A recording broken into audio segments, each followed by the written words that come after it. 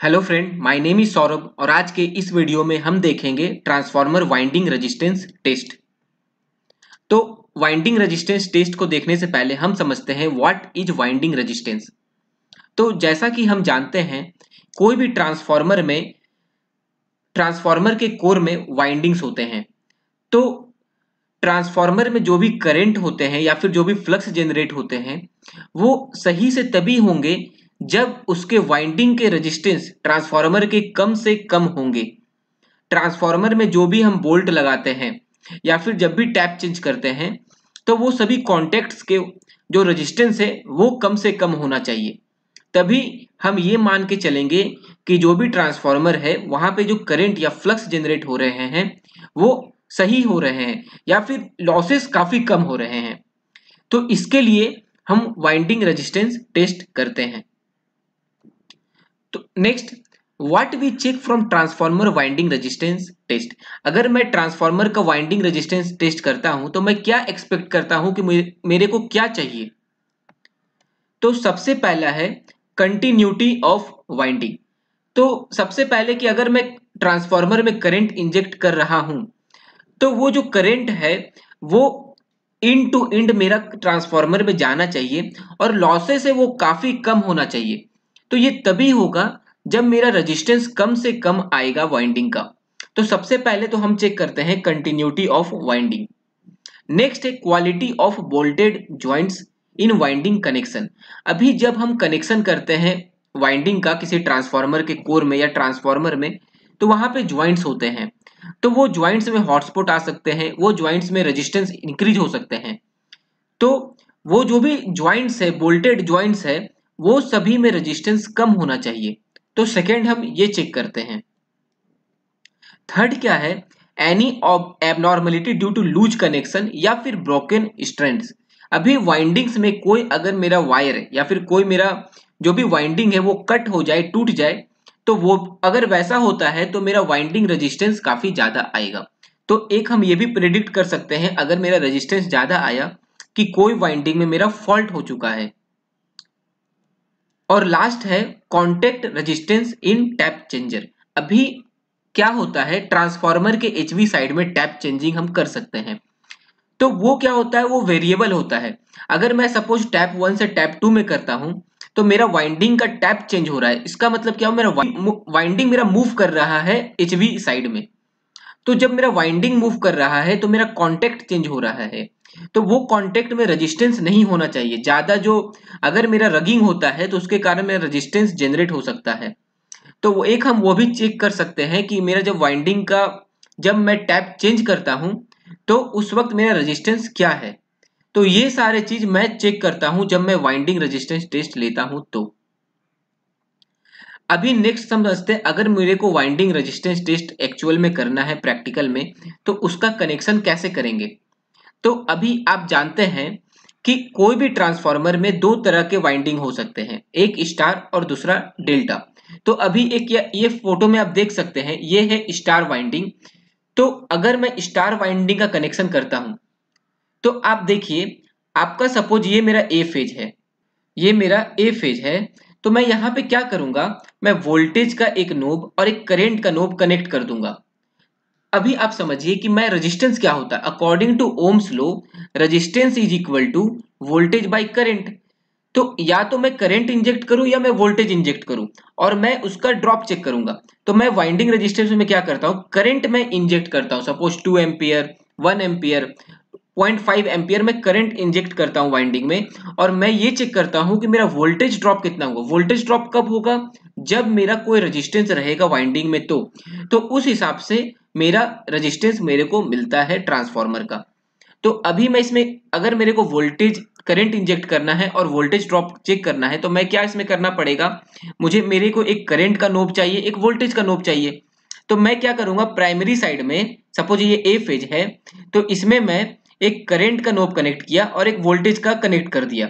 और रेफरेंस में इसमें न्यूट्रल को लिया, क्योंकि ये स्टार वाइंडिंग है तो स्टार वाइंडिंग में मेरे को न्यूट्रल रहता है तो मैं रेफरेंस न्यूट्रल को लिया और वहाँ भी मैं करेंट आप ब्लैक वाला देख सकते हैं करेंट और वोल्टेज में कनेक्ट कर दिया। फिर मैं यहाँ पे क्या करूँगा suppose two ampere current inject किया और फिर मैं चेक किया कि मेरा वोल्टेज ड्रॉप कितना हुआ। और जितना भी मेरा वोल्टेज ड्रॉप हुआ और जो मैं करंट इंजेक्ट किया, उसका रेशियो मैं करूँगा तो मेरा रेजिस्टेंस आ जाएगा। तो इस हिसाब से मैं वाइंड वाइंडिंग रेजिस्टेंस टेस्ट का कनेक्शन करता हूँ। तो सेम वे से मैं ए फ़ेज़ टू न्यूट्रल करूँगा बी फ़ेज़ टू न्यूट्रल करूँगा सी फ़ेज़ टू न्यूट्रल करूँगा। अगर मैं ए फ़ेज़ टू न्यूट्रल किया तो मेरा ए फ़ेज़ का वाइंडिंग आएगा बी फ़ेज़ टू न्यूट्रल किया तो बी फ़ेज़ का वाइंडिंग आएगा, और सी फ़ेज़ क्या किया तो उसके रिस्पेक्टिव में जो भी वाइंडिंग है, वो आएँगे। नेक्स्ट हम समझते हैं कि अगर मैं डेल्टा ट्रांसफॉर्मर, डेल्टा वाइंडिंग रहता है तो मैं कनेक्शन कैसे करूँगा? सी अगर मेरा डेल्टा वाइंडिंग रहा तो मेरा रेफरेंस के लिए न्यूट्रल नहीं है। तो इसमें मैं क्या करूँगा? इसमें मैं फ़ेज़ टू फ़ेज़ में, मैं चेक करूँगा कि क्या मेरा रेजिस्टेंस आ रहा है। जैसे कि आप यहाँ देख सकते हैं, ये मेरा डेल्टा वाइंडिंग है। तो यहाँ पे मैं ए फ़ेज़ ये सपोज़ मेरा ए फ़ेज़ है, ये बी फ़ेज़ है, और ये सी फ़ेज़ है। तो मैं ए फ़ेज़ में करंट और वोल्टेज कनेक्ट किया नो बी फ़ेज़ में भी मैं करंट और वोल्टेज कनेक्ट किया। कैसे देखिए? ए फ़ेज़ आप देखिए, यहाँ पर आई प्लस है करंट का और यहाँ पे वी प्लस है वोल्टेज का। आई माइनस है यहाँ पे करंट का और वी माइनस है मेरा वोल्टेज का। तो मैं बी फ़ेज़ में कनेक्ट किया। अभी मैं इसका चेक करूँगा तो मेरे को दो वाइंडिंग के रेजिस्टेंस मिलेंगे। A phase to B phase में मैं करंट सर्कुलेट करवा रहा हूँ तो उसका वाइंडिंग का मेरे को रेजिस्टेंस मिलेंगे। सेम वे से मैं बी टू सी और सी टू ए में करूँगा। अभी हम समझते हैं प्रैक्टिकल सिचुएशन में मैं ये कैसे करता हूँ। आप ये देखिए, ये एक मेरा वाइंडिंग रेजिस्टेंस टेस्ट किट है और ये मेरा ट्रांसफॉर्मर है, जो कि मेरा प्राइमरी साइड है एचवी साइड वो डेल्टा है और एलवी साइड है वो स्टार है। अभी हम देखते हैं इसका कनेक्शन कैसे करना है। सबसे पहले जैसा कि मैं बताया कि मैं आई जो करंट का नोब को मैं ए फ़ेज़ में कनेक्ट कर दिया। देन मैं वोल्टेज का नोब को भी पॉजिटिव को मैं भी ए फ़ेज़ में कनेक्ट कर दिया। देन जो मेरा निगेटिव आई माइनस और वी माइनस मेरे को न्यूट्रल में कनेक्ट करना है, क्योंकि ये स्टार वाइंडिंग है तो इसको मैं न्यूट्रल में कनेक्ट किया और V माइनस को भी मैं न्यूट्रल में कनेक्ट कर दिया। तो ये मेरा कनेक्शन है, मेरा वाइंडिंग का कनेक्शन मैं कैसे करता हूँ? अभी मैं इस किट से, मैं सपोज़ मैं टू एम्पियर करंट इंजेक्ट करूँगा और मैं रेजिस्टेंस चेक करूँगा। तो मेरा इसका रेजिस्टेंस है कुछ वन ओम या फिर मिली ओम में या फिर पॉइंट फाइव ओम इस तरह से आना चाहिए। अगर मेरा इससे ज़्यादा आ रहा है तो इसका जो ट्रांसफॉर्मर का वाइंडिंग रेजिस्टेंस है, वो ज़्यादा है। नेक्स्ट अगर मैं, मेरे को डेल्टा में करना है तो मैं कैसे करूँगा? तो जैसा कि मैंने डेल्टा में बताया कि मैं फ़ेज़ टू फ़ेज़ करता हूँ तो मैं आई प्लस और वी प्लस को एक फ़ेज़ में कनेक्ट करूँगा, जैसा कि आप देख सकते हैं ए फ़ेज़ में कनेक्ट किया और वी प्लस को भी ए फ़ेज़ में कनेक्ट किया। मैं आई माइनस को मैं सेकेंड फ़ेज़ में कनेक्ट किया और वी माइनस को भी मैं सेकेंड फ़ेज़ में कनेक्ट किया। और सेम वे से मैं करंट इंजेक्ट करूँगा। और मैं फिर किट मेरा वोल्टेज ड्रॉप चेक करके मेरे को रेजिस्टेंस प्रोवाइड कर देगा। सेम वे से मैं जैसे A phase to C phase यहाँ पर किया, उस तरह से ए बी बी सी और सी ए करना है। तो इस तरह से हमें वाइंडिंग रेजिस्टेंस मिल जाएँगे। अभी नेक्स्ट हम समझते हैं, अगर मेरे को वाइंडिंग रेजिस्टेंस मिल गए हैं तो उसका कैलकुलेशन हमें कैसा करना है?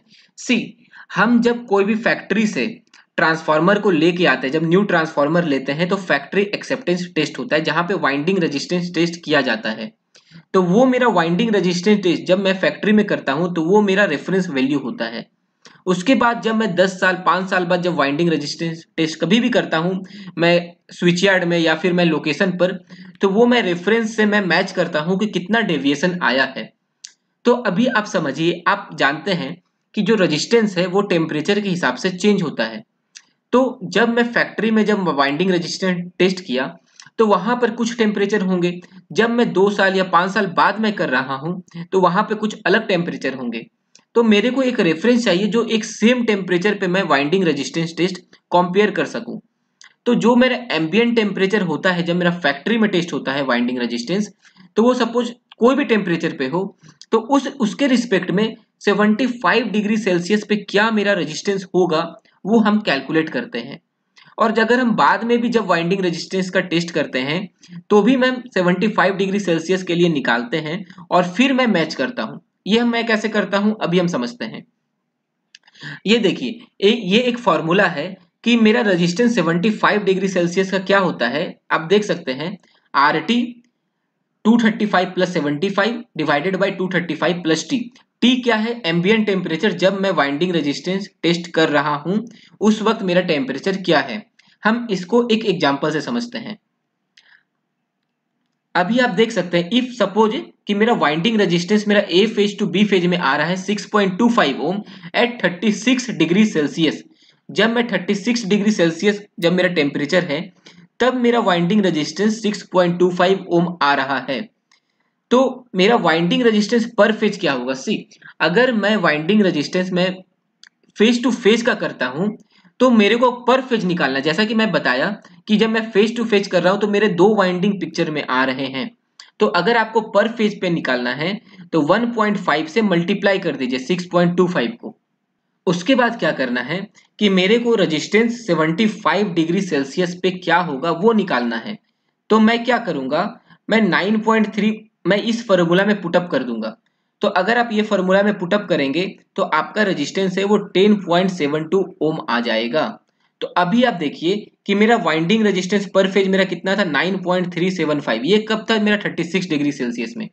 तो अगर मेरा 36 डिग्री सेल्सियस में 9.3 होगा तो मेरा 75 डिग्री सेल्सियस में 10.72 होगा। तो ये मेरा रेफरेंस वैल्यू है। तो मैं कभी भी जब वाइंडिंग रेजिस्टेंस करूँगा तो मैं 75 डिग्री सेल्सियस पे कर का निकालूँगा कितना आ रहा है और फिर मैं मैच करूँगा कि मेरा वाइंडिंग रेजिस्टेंस सही है या कम है। दूसरा मैच करने का ये तरीका है कि मेरा वाइंडिंग रेजिस्टेंस सही है या नहीं, कि अगर मैं ए बी और सी फ़ेज़ में करता हूँ तो मेरा जो नॉर्मली ज़्यादा डेविएशन नहीं होना चाहिए तीनों फ़ेज़ के वाइंडिंग रेजिस्टेंस में। सभी का नॉर्मल सेम टाइप के ही आना चाहिए मेरा resistance so, that's all about this video. If you like the video, please like, share and subscribe. If you have any doubt you can ask in the comment section. Thank you